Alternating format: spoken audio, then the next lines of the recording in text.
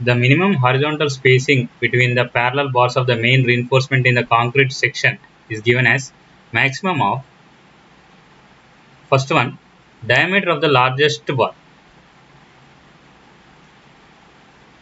And second one 5 mm more than the nominal maximum size of the coarse aggregate. And third one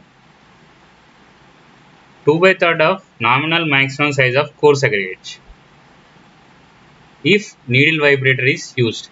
Among these maximum value is taken as a minimum horizontal distance between the bars of the main reinforcement